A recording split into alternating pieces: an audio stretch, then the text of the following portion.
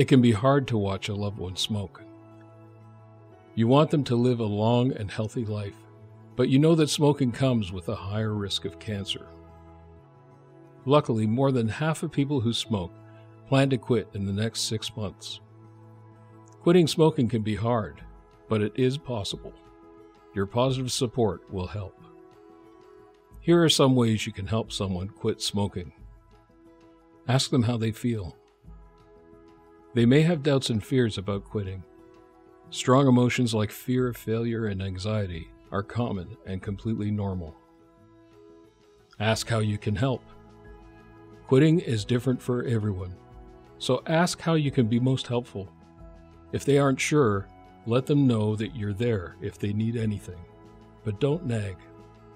Understand if they slip. Quitting involves getting a powerful drug, nicotine, out of their system. Their entire body will fight this change, and sometimes the cravings will win. Help them understand that they haven't failed and that you still believe in them. Encourage them to keep moving forward with their plan. Help them get help. There are many free resources to help someone quit. The Canadian Cancer Society is here to help.